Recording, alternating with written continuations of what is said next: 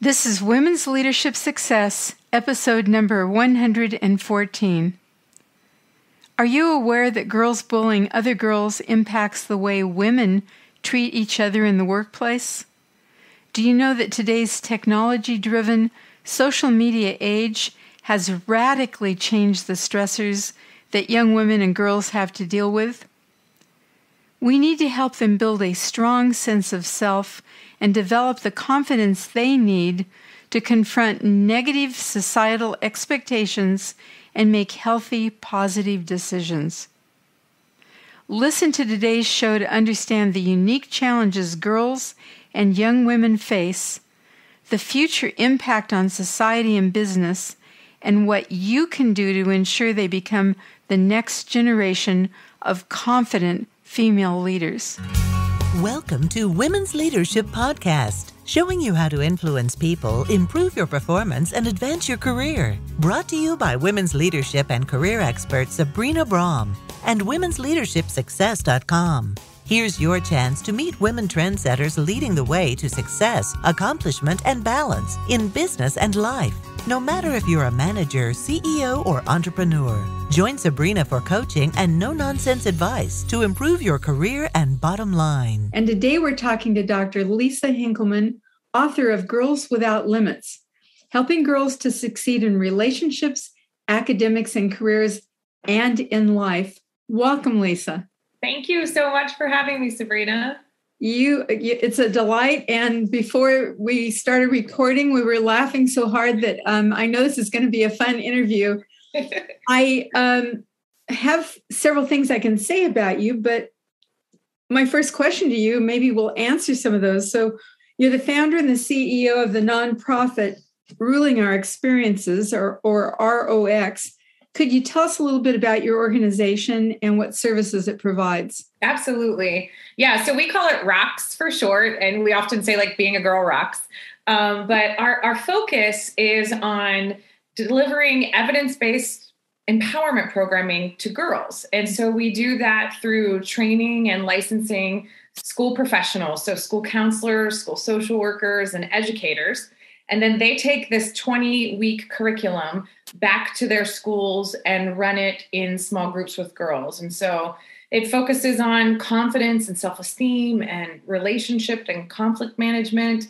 Um, we talk about healthy dating and standing up for yourself and academic and career development, leadership. We kind of focus on all of the places of girls' lives where they're internalizing some negative or restricting messages about what it means to be a girl or what's available or accessible for them. Uh-huh. and then we give them some some skills to push back against that. Um, so we run programs in schools uh, across the country. So we have about 500 programs in 22 states. And then we do large scale national research with girls and then workshops and trainings for adults who have girls in their lives. So parents and teachers and school counselors we're really centered on how we equip the next generation of females to not be held back and to be the leaders that that we so desperately need. That's so wonderful. Uh, and because i do research almost every day it's one of my passions. Do you have any um, statistics that prove this is helping yeah, so we do actually. Rock started out as a research study. Um, mm-hmm. I was a professor at Ohio State, and um, the the work actually i wrote a little grant to start this program and so we just extensively pre and post tested our curriculum to understand like how girls were changing what new skills they were acquiring and how they were interfacing with the world differently because you know as someone who's interested in research you you see all kinds of things like 87% of the girls loved their participation right and i'm less um, I'm less convinced that that's an indicator of success than girls are doing things differently because they were part of your program. And so some of the things that we see, we see increases in girls' levels of confidence and self-esteem. So we do pre and post test measures around that. We also see pretty big increases in girls' conflict management and ability to communicate assertively and stand up for themselves. Um, this is one of the areas where we know a lot of girls struggle They struggle to speak their mind. They struggle to have healthy, respectful disagreements. They struggle to share their opinions.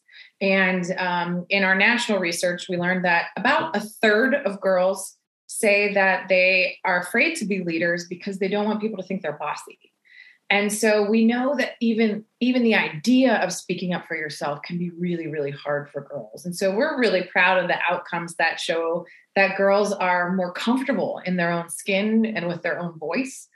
Um, and one of the other metrics I think is really important is girls' acquisition of violence prevention skills, abilities to set boundaries and um, and and assert those boundaries in situations where they feel that there could be some coercion or some pressure. Um, and so we see a, a, tremendous increase in girls' ability to navigate some of those hard situations. That's wonderful. And that's what we're going to be t- talking about today some of these things that you teach people in your workshops and, and are in your book. Um, but my I want to say my audience are women, mostly 30 to 65, who are in some management position in companies or in the military. Mm-hmm. Why should this matter to women? Just oh yeah, I I always think you're not that, a mother. What if yeah. you're not a mother? Why should it matter? Yeah, I mean, I think that this topic matters to everyone, not just to women, not just to moms of daughters, not just to dads of daughters. Okay. You know, when I think about cultivating leadership and becoming a leader, we know very clearly that the challenges that we face during our growing up years drops in confidence uh, difficulty with assertiveness um, difficulty speaking on our mind it, you know feeling uncomfortable in our own skin or struggling with body image all that stuff persists for us as grown-ups and persists for us as as adult women mm-hmm. in ways that continue to hold us back and so when we think about what our role is, I think our role in, in our current leadership capacity is to recognize the areas that might still plague us because the research shows that women don't begin to rate themselves as more confident than men rate themselves until they're in their mid 40s. Mm-hmm. And so most of us are well into our careers at that point and probably have made some decisions that maybe weren't the best decisions for us because we didn't think we belonged. We didn't think we were smart enough. We didn't think we had the right skills or tools. We didn't think we had every list of competencies that the job called for. And so we held ourselves back. So I think there's a dual or really a parallel process here. Part of it is what are we assessing about our own leadership development? What are the insights we need to develop about ourselves?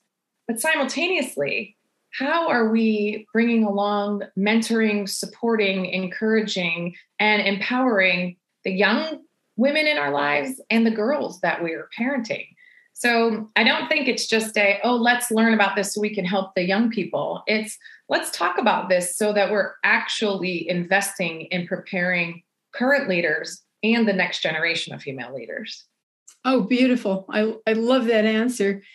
Now, um, teens and preteens, they get pretty closed off to adults. What do you suggest to help um, get that relationship where you can communicate better to them? Yeah, I think that's this is one of the biggest challenges of the teen years, of course, is that teens uh, begin to strive for independence.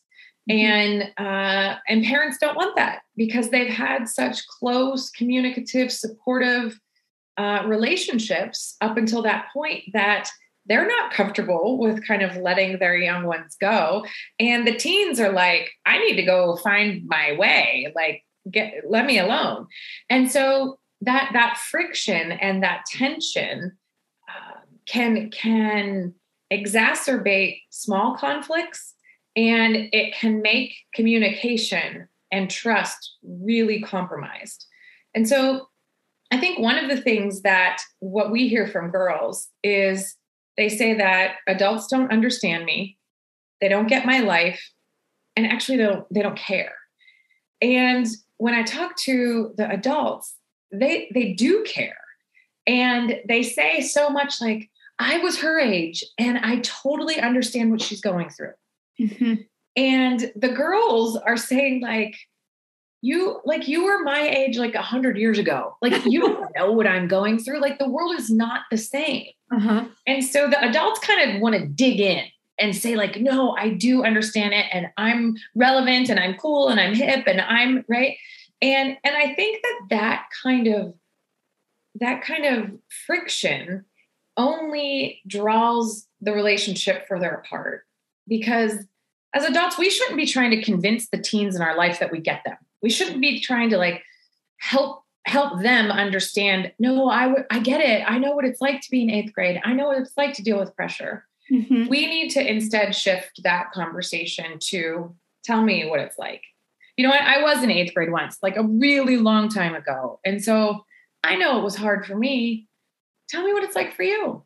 Mm-hmm. because it's really different. And so sometimes we have to take the the expert hat off and give that expert hat to our girl mm-hmm. and say, you're the expert on your life. Mm-hmm. You know best what it's like to be you. You know best what it's like to be a teen girl right now.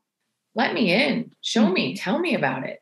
Right. Yeah, Lisa, I, I think it, no matter what age you are, that if somebody says to you, I know what you're going through, I've been through that, it's such a turnoff. I, yeah, because I want to tell my story. I don't want to hear your story. Yeah, yeah. I mean, because how you we may have had like the same situation happen to us, but our reaction to it could have been totally different, right? Like your parents might have divorced when you were in fifth grade, and mine did too. And I would say, "Oh my gosh, like I know exactly how you feel." And right. for you, it could have been a relief because they fought so much and it was so much tension. And when they separated, it was like, oh, this is this is so much better. And for me, it could have been devastating. Right. So it's like the same situation, but our experiences are so markedly different that we we have to allow the other person to to tell us their story and validate their realities and I don't know. It, I, I think people like to be the experts on themselves because nobody knows you better, right? It's true. It's so true. And so my next question was how do we show we care but you kind of answered that is there is there more that you would say about that i mean i think w- what i hear from girls is they want to spend time and they want you to make time for them that's also free from distractions and technology. As much as adults are complaining that girls are always on their phone, girls are complaining that their parents are always connected as well. So they, they want that designated time and attention and space. Girls also talk a lot about not wanting to be judged and just wanting to be listened to.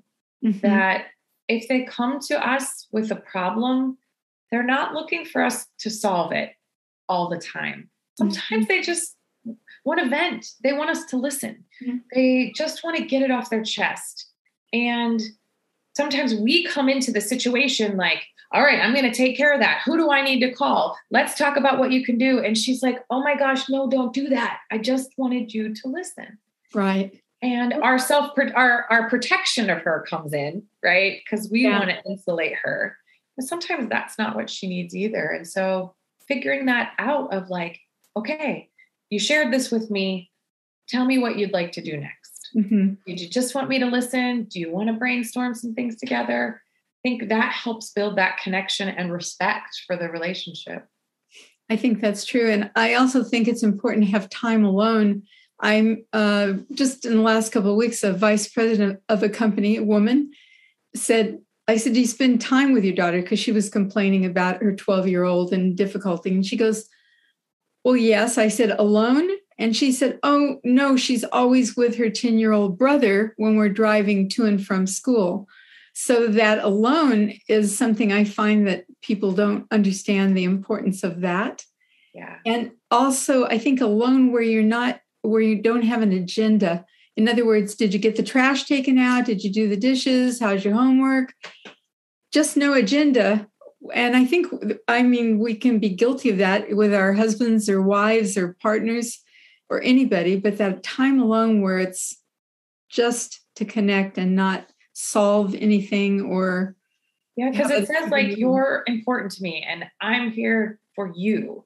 And I mean, you know, if you're if you're with one other person versus two other people, how different the conversation can be because right. y- you shift what you talk about, it becomes less personal and it it becomes it can become a bit more superficial when it's one on one, it's just all about you and that connection with that person. And so I agree fully with you is making time for, if you have two kids, making time for one at a time every now and then has them feel special, probably will make you feel pretty special along the way. And, and I think allows for a deeper, more meaningful connection on a regular basis. Yeah, I totally agree.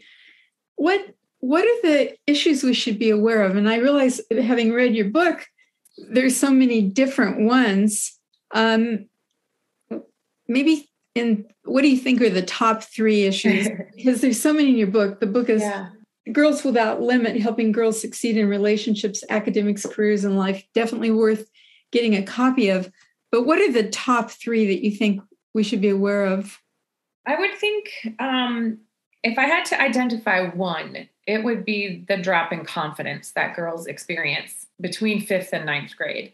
So, we did a research study um, with over 10,000 girls uh, across the United States.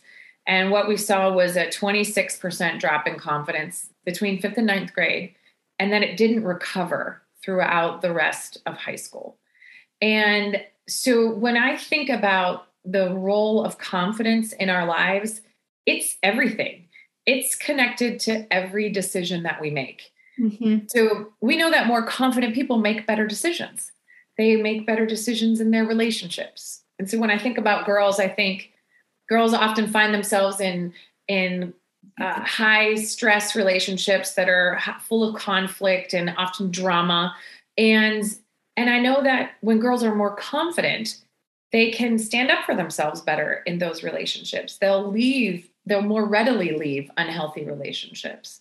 When when girls are more confident, they will make more healthier choices when it comes to their academics or their career pursuits. Their mm-hmm. The, every aspect of decisions has is centered in how we feel about ourselves and our own abilities. And so I think we really need to pay attention to what girls are experiencing during those years and ensure that we're helping bolster her confidence and give her opportunities to build her confidence. Mm-hmm. Now, I think so often we think of building confidence as a let's just give a lot of compliments and tell her how great she is. Mm-hmm. And that's really not how we build confidence. So I think when we think of what do I need to give my girl to help her build confidence, it's experiences, it's opportunities to grow her set of skills in areas that she's still emerging in. It's helping provide safe places for her to be vulnerable, for her to not get everything right, and her to learn and grow from that. So I think the confidence would be the number one issue, I would say, uh, that in, influences every other chapter, probably in, the, in that book. I think the second area I would identify as social media. Before you before you go into the second one, yeah. Um, years ago, I lived on a piece of property where there were two houses. And I'd lived there since this little girl was two years old. And at 11, she knocked on my door one day with the most horrible look on her face. And I said, What's going on? And she said, I have ugly knees. And I went, Ugly knee? I mean, it was a part of the body I'd never even thought about. You know, it was like ugly knees. And what I'm wondering is, why does it seem to be more of an issue for girls than for boys? Oh, mean, yeah. so, oh, so many, so many ways to answer that. Um, one of the things that came up in the data is that along with that drop in confidence, mm-hmm. at the same time between fifth and ninth grade, there was about a 30% increase in the percentage of girls who want to change their appearance. So we know that confidence is connected to body image and appearance for girls at very high rates. I think one of the reasons is that as a society, we really focus on girls and women's appearance more than we focus on anything else, and mm-hmm. much more than we focus on the appearance of boys and men.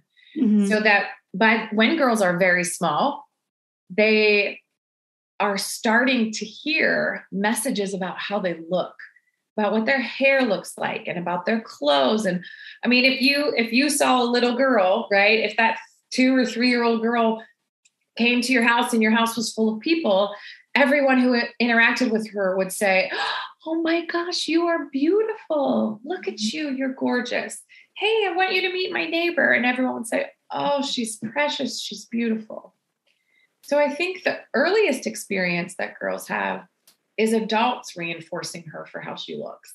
Wow. Then as she gets a little older, it comes from all other places the media and her peers, her classmates, advertising. And for us, we notice appearance 1st mm-hmm. and then everything else that that little girl is second. We, you know, we don't recognize her intelligence or her creativity or athleticism, the effort she puts into something because we notice how she looks. And so she's like, oh my gosh, she is so pretty and she's smart, or she's beautiful and she's super athletic too. It's like she has to be this and then she could be all these other things. Mm-hmm. So, or I, know, I hear they're not pretty. I'm thinking of Diana Vreeland, who was head of Glamour magazine, and she was raised believing she was the ugly child and her sister was beautiful. Yes. So there's even that kind of message that comes across to girls of she's not Absolutely. as the other girls, but she's smart.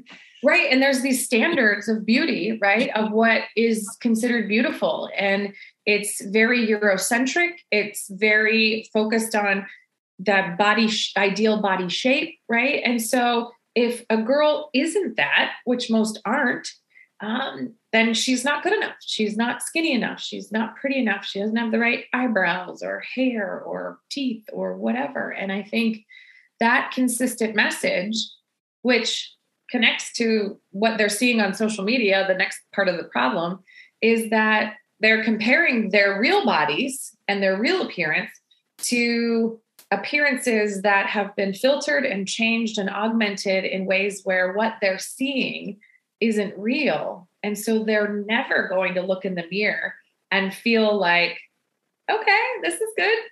Because they're always looking at something that is nearly perfect. I don't even know if we have time for me to ask this question, which is Is there anything we can begin to do to change that? If I see a little girl, what's a better thing for me to say to her than you're really pretty? I know. Well, I think there's all the other things about her. I think to ask her a question about what she likes to do, or what's her favorite subject in school, or what's the last book she read, or let's play a game. What's your favorite one? Or tell me about your hobbies, or it's so good to see you.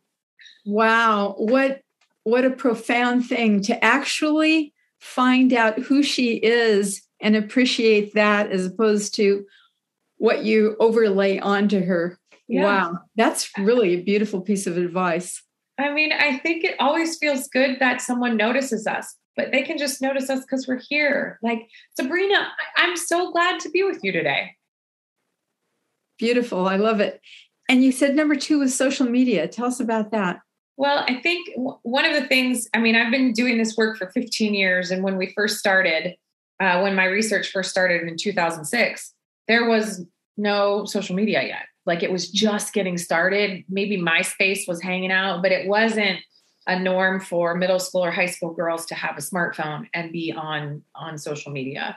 And obviously, as we know now, almost 100% of middle school and high school students have smartphones and are engaged in some kind of social media.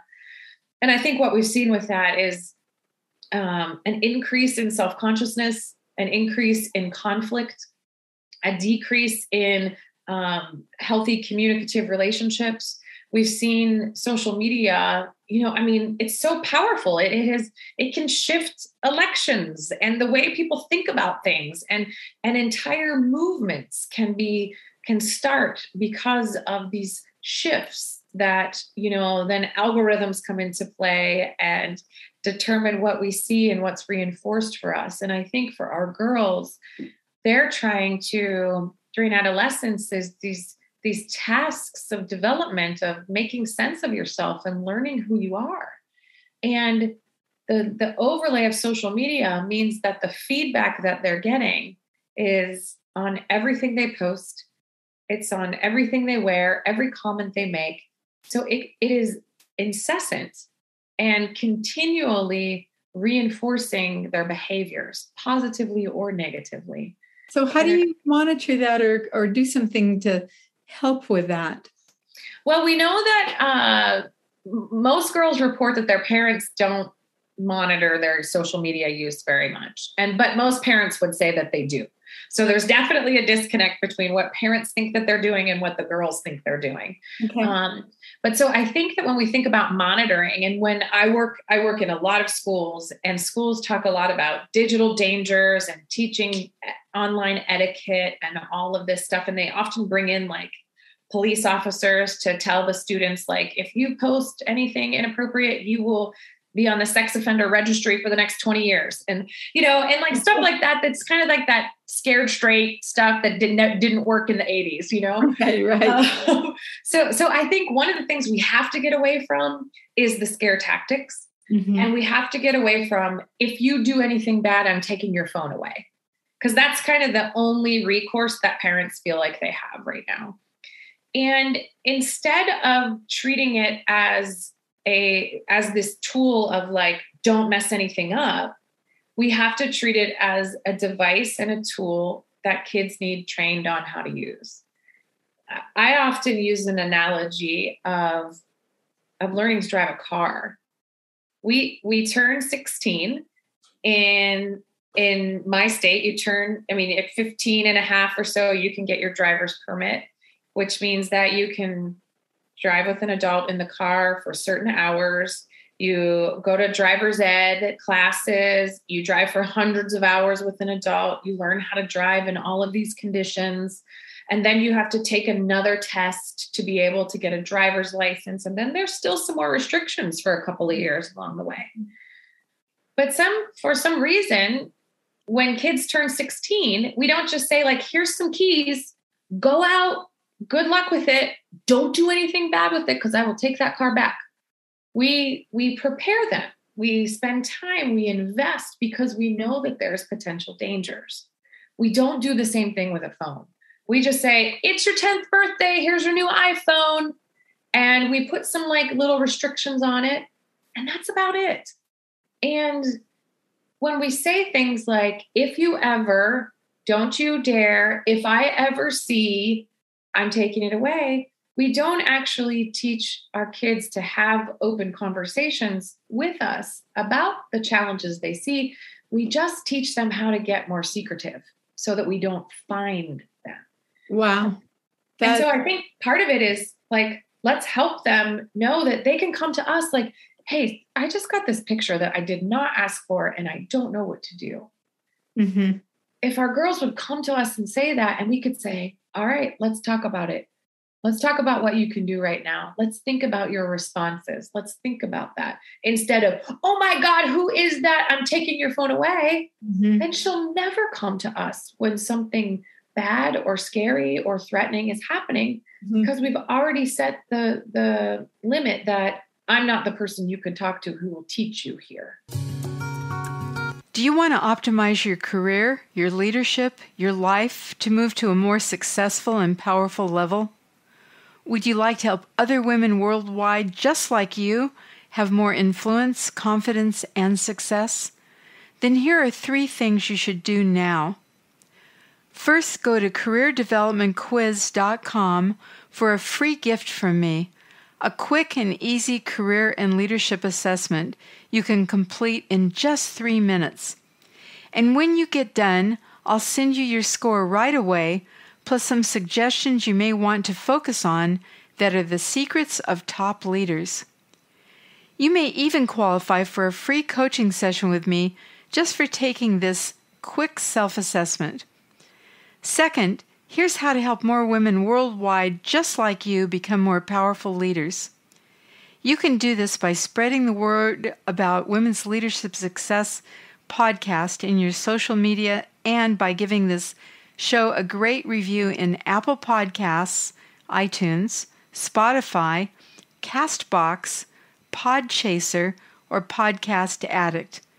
Plus, this really helps me too and the show. I really appreciate it. Third, follow me on LinkedIn to get additional tips, articles, and other resources that will help you be successful. So that kind of leads into sexting. So if if they the girl tells you, I got this picture, or my boyfriend wants a picture, or whatever, or my girlfriend, whatever that it is, what what's a good approach on that? Yeah. That's so out of the realm of my experience. So yeah. Yeah, I, I, I mean, it is for many eh, because we we just didn't grow up in that time where that was available or accessible, right. and I think sometimes we're like, how is that even a thing? But right. it's a thing, and yeah. And teens are are very open about it being a thing, and that our our research shows that you know by the time girls are in high school, the majority have been asked to send a photo and say that most students do send sexually explicit texts and photos to one another. So I, I think the way to think about that is not to say, if girls, if you respect yourself, you'd never do that. Or nice girls don't do that. That's kind of our message to girls right now. Uh-huh. If if you respect yourself, then then that is not something that you should ever do. And if I ever find out that you did that, here's the XYZ consequences.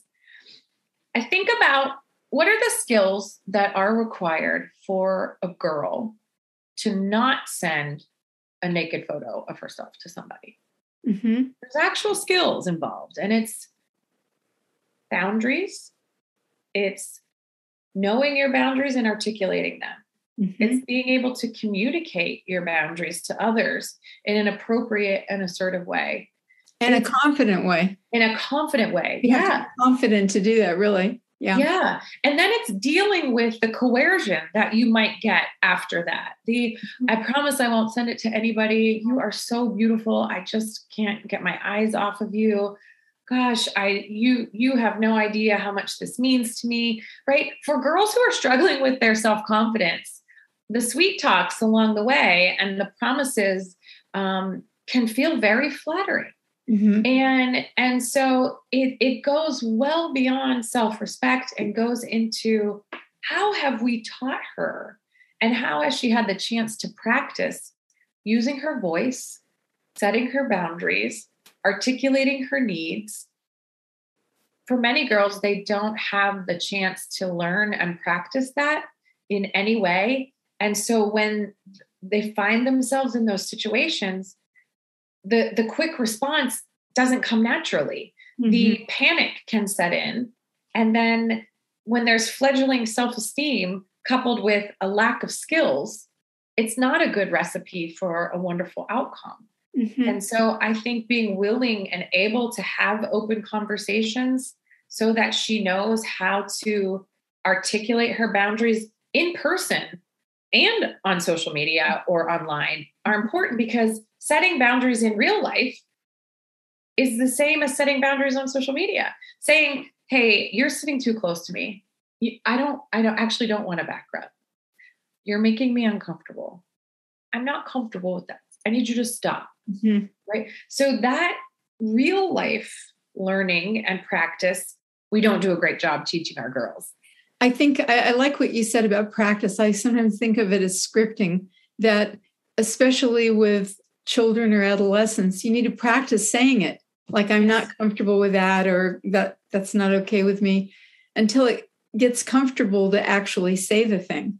And it's it's one of the things we teach in in our program at ROX um, because we call it verbal self-defense right? It's okay. setting boundaries and speaking your mind. And for many girls it feels very embarrassing right? To to to assertively communicate. At first that it makes everybody laugh it makes you feel uneasy your cheeks and neck get red but then the more you practice you're like okay i can do that.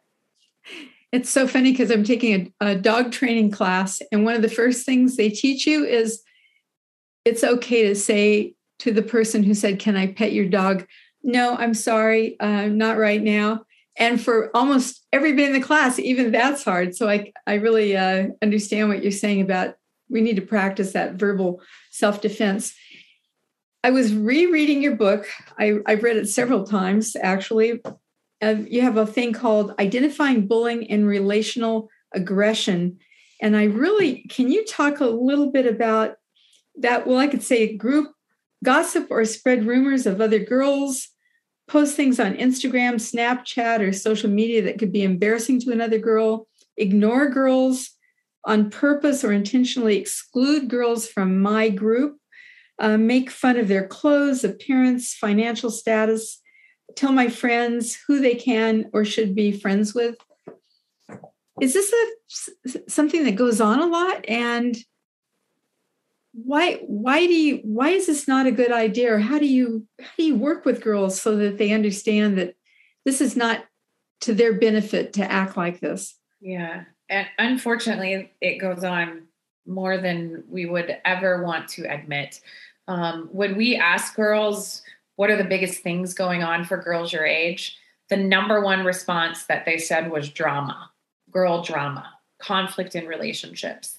So what we know is that girls tend to use their relationships to bully each other um, differently than boys do right? When when we think about bullies we often think about like a big kid and a little kid and then pushing up against a locker or kind of these sort of physical kinds of bullying. But what we know is that bullying more recently is less about physical and more about emotional and relationships. And for girls that's even more pronounced Mm-hmm. And so when we think about girl bullying or relational aggression, right, being mm-hmm. mean mm-hmm. through our relationships, mm-hmm. it's that gossiping and spreading rumors. It's deciding who can be in my clique and who can't. It's orchestrating the cliques in a in a friend group. I think what is so destructive about it is that it's very passive aggressive, right? Mm-hmm. It's instead of communicating assertively with one another, girls will spread rumors or do things behind one another's back. Mm-hmm. and and the destruction in that is is so troubling. I think one of the reasons that we see this happen is that girls don't learn how to communicate assertively or speak their mind to one another. And so instead of saying like you know what sabrina? I I was really hurt that you invited like every other girl in the class to your birthday party this weekend and I was excluded. I saw all those pictures on Instagram and it felt pretty pretty awful. Mm-hmm. Instead of saying that to you, I'll just block you. I'll start spreading rumors about you. I will cut you out of my life. Mm-hmm. Right. And, and so we don't learn those effective relationship navigation skills to have healthy, communicative, and supportive relationships. And and for girls we really re- the the world reinforces competition between girls and women instead of collaboration and support. At mm-hmm. every age at every stage it's how am i prettier than you? How am i smarter than you? How do i do better than you? And how do i keep myself ahead? And i think when we foster that kind of environment for our girls we we encourage that kind of destructive divisive behavior. And and then girls learn that other girls are a source of competition and not a source of comfort or collaboration. Mm-hmm. and and that's when we see these destructive behaviors persist not just for young girls although there is a peak in middle school of this relational aggression. Right. We see this happen in grown up life too. I mean like think of every reality show where like the goal is a single rose or right? It's let's see how we can make these women be really really mean to each other for entertainment. So it seems like that's best solved in groups at school not individually with parents. What do you think? Do you, do you well that- so i think that there's a role for parents of course um, okay. in helping you know helping be the guiding force in their in their girls lives and and helping them identify and and reinforce these strong positive and pro-social behaviors but we also know that a lot of parents haven't had the chance to learn some of these skills mm-hmm. too and so for us when we can access these opportunities in a co-curricular way right where right. girls are having these experiences alongside their academic learnings they have the chance to learn new things and new skills and then hopefully take them back and talk to their parents about them. Mm-hmm. That's that's a bit of why we find school-based programming alongside community education and parent workshops to really be the sweet spot for where we have the chance to better move this issue forward and better inform not just parents but female leaders along the way of hey these are some of the challenges. These are some of the things we need to address. And these are some of the things that continue to persist that you need to address in the workplace as well mm-hmm. and you do have some really great examples in your book of how to talk like this thank you. I really appreciate. You know there's a brand new movie out. I just heard the the woman that um, made the movie. It's a disney movie called red panda. I've heard of it. I haven't seen it though. It celebrates um, and normalizes young girls getting their period.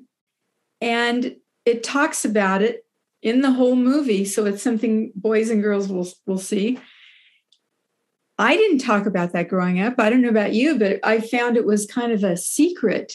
Yep. And this whole red panda, you know, she her hair changes, you know, she's getting hair under her arms, pubic hair, and her emotions change and she feels all out of sorts. And how much of just going through um, all the physical changes of the body and um, starting to get your period is part of the challenges that girls face that we really need to help them with.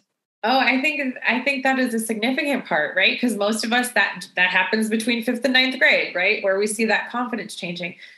Because we our our bodies are changing. Most of them like some are getting bigger. Some aren't fitting into clothes that we used to fit into. Some are getting much more womanly shapes at very young ages. And so we're starting to get sexual attention in ways that we haven't before and that we're unlikely prepared for. Mm-hmm. And then we also have the hormonal changes that do impact our emotions as new feelings emerge for us. We tend to get much more self conscious about our bodies. Um, and we tend to have bigger vacillations in the highs and the lows. I think the other part of it is that it, it, it is like some secret, like the stuff that hap- is happening for everyone. We've not been able to normalize in a way where it's like, oh, okay, well, that's no big deal. Yeah, of course we should have pads and tampons in the bathroom because every girl needs them, right? So, mm-hmm. so I think that part of it is instead of shying away from normal, typical healthy um, development, we we we should we're, we're like we can't talk about that. We shouldn't do that. And I think like it's never a surprise that a girl gets her period at some point. We should she should be ready for that, right? Because we talked to her about it, not because we've never spoken to her about it and so she's like super freaked out when it happens. It, and so I think sometimes it's that ability to prepare her and the ability to normalize like this is just super normal. And this this means this is happening for you you know? And i think that the more we can do that the more we can uh, make her her feelings feel like they belong. I think one of the things that we find that's the power of a group and girls being in a group together is the feeling like that they're not the only one and that you're going through the same thing I am. And I actually, up until this point, thought my feelings and everything was super unique and so weird. But you're actually saying the same thing that you feel the same way. Gosh, that's so affirming. And so that is that is power of girls being in a, in a group or space together, of women being in a group or space together, is that we have the chance to validate each other's realities. Is like, man, you're exhausted too, or you feel that way too, or you can't, you're struggling in that way. That is, that's really affirming and, and a very powerful force. Great. Well, we're going to run out of time because you are so interesting and this is so much fun. But so that we had number one, number two with social media. Number three is what's number three of the top three things? Oh gosh. Um, I mean, I guess I would I would say it's leadership because I think that those those are connected, right? Particularly confidence and leadership. Okay. Um, and and we see such a lack of representation of of women in leadership roles, um, particularly the higher level that you get, the fewer women are there right. in practically every industry. And I think some of that, um, some of that sense of belongingness or seeing myself in those roles or having a pathway to that experience is uh, those are well defined in early adolescence and throughout our growing up years of where we belong and what trajectory that we're on. And so that's why in the book, when I'm talking about uh, careers and leadership and where are all the women and thinking about some of that, it's because in this moment now we can look at where we we find our own position, but we can only also look retrospectively and see what were the messages that we had as we were coming up that made us uh, make different choices, and then what are the messages that the girls that we're influencing, mentoring, um, or bringing along are hearing and seeing as well. Mm-hmm. So um, now I'm having to pick and choose the last questions here. I'm going to ask you what risk taking should we encourage girls to take? I know this is such a hard question because you know no one wants their girls to be doing risky things, right? right? So so I think there is a difference between being risky and encouraging risk taking, right? And by risk taking I mean pushing themselves in areas where they don't feel like they're perfect. Mm-hmm. Right. Our girls are little perfectionistic pressure cookers right now mm-hmm. and feel that like they shouldn't try something unless they could do it perfect on the first time. And if they don't do it perfect, then they just decide they're not good at it and just leave it be. And so when I think about risk taking, I think about trying out for a play or the choir or a musical or or something that stretches mm-hmm. their competencies in ways that allow them to grow. And and we have to provide those environments that are safe and supportive and that stretch us. And that's really how we help build new levels of confidence in our girls. Beautiful. And what areas do the girls need bound, healthy boundaries? Every area. Every area. I mean, as adults, right? I mean, it's so true. I think you need healthy boundaries to be able to say, like, it's not my turn to make the cupcakes. And you need healthy boundaries to be able to say, like, I don't want you to touch me that way. And we need healthy boundaries to tell our boss, like, no, that's my vacation. I'm not taking my laptop with me. And we need healthy boundaries to tell you know our partner it's your turn to do the dishes you know so when when i think about boundaries i think that they apply to almost every aspect of our lives that's beautiful it's so true. I'm thinking of even um, i'd be willing to talk about that but this isn't really a time i feel up to it or something. So they even have the ability to not talk about something right in that moment. Absolutely. Yeah. absolutely. Well, any last words you'd like to leave us with? No, I think I, I think the one thing that I would say is that sometimes we think about all of this stuff and if we have girls in our lives we often think about this and we're like oh my gosh i've been doing it all wrong. Or i've been telling i've been telling my girl that she's pretty for the last 15 years now i can't tell her she's pretty anymore. Or you know and so so i think i think that everything that I've shared and and all of the tips and strategies and conversation starters in the book are about adding on more good right it's not about like we have to stop who we are and to- totally shift anything it's let's just pack on a little more good let's uh-huh. just be gentle on ourselves and not say i should have done that or i totally did this wrong but let's just say like here's some new things i can do starting tomorrow uh-huh. And and I think that if we're easier on ourselves and our girls see that, they're going to be easier on themselves too, which is exactly what we want to have happen. Yes. So this has been incredible. I've really, really enjoyed this. And before we started the program today, you said you were doing teaching these courses in schools and in companies. How would people get a hold of you to find out more about that? Yeah, absolutely. So our website is rulingourexperiences.com. Okay. And then my email is just my first and last name, which is Lisa Hinkelman, H I N K E L M A N, uh-huh. at rulingourexperiences.com. Um, and if you Google either of those, like my name or ruling our experiences, lots of things will come up. Um, and you can shoot me an email or go to our site or even on social media. We're at beingagirlrocks.com or at being a girl rocks.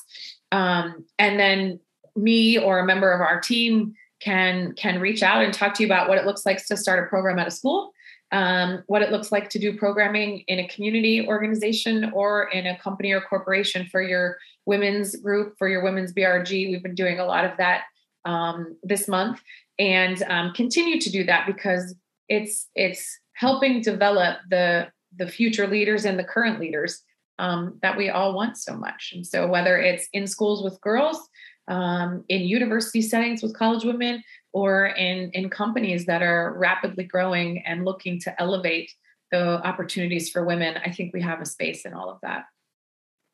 Wonderful. Thank you so much for being with us today. And if you can't remember what she just said about how you can get a hold of her, it will be up on our website, womensleadershipsuccess.com. Uh, so you can check there too. Thank you again, Lisa. Absolutely. Thanks, Sabrina. Thanks for listening today. I really appreciate you sharing this podcast and social media and giving me a review in your favorite podcast platform. Also, be sure to follow me on LinkedIn to get even more free tips to help you succeed. And don't forget, if you're ready to take your leadership, your team, or even your whole company to a new level of engagement, success, and profits, and you need a top expert with decades of coaching, consulting, and training experience, I'm your best choice. Contact me today via messaging in LinkedIn, Women's Leadership Success.com, or SabrinaBraham.com. Thanks for listening. Thank you for joining your host, Sabrina Braham, on another Women's Leadership Podcast. If you have questions or comments, you can email her at sabrina at sabrinabraham.com. Since 1989, Sabrina and her team have helped hundreds of women managers, business leaders, and entrepreneurs with valuable trainings, articles, books, and executive coaching. For additional tips, interviews, and free access to Great Leaders Today mini course, visit www.womensleadershipsuccess.com.